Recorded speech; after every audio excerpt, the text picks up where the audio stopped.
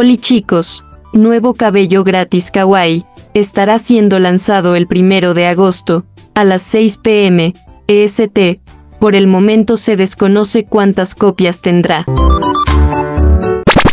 El artículo de Beyondland ha sido postergado hasta la próxima semana.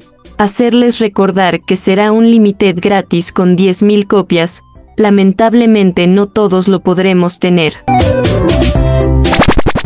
Todo indica que estos artículos sería para un concierto, aunque no hay nada confirmado aún.